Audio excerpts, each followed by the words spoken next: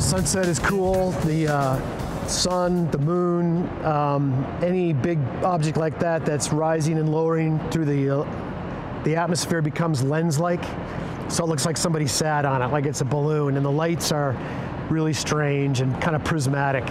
Once it goes away and you see this wedge rise up. It's like the Terminator. It's called the Terminator because it's the actual boundary between the shadow of the planet and, and through the atmosphere.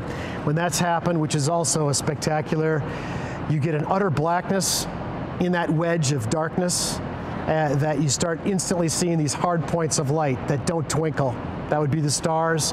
And when it's really dark, after several hours and the sun's completely gone, and there's no moon, you'll see every meteor possible. If you're looking that way, and during meteor showers, it's spectacular.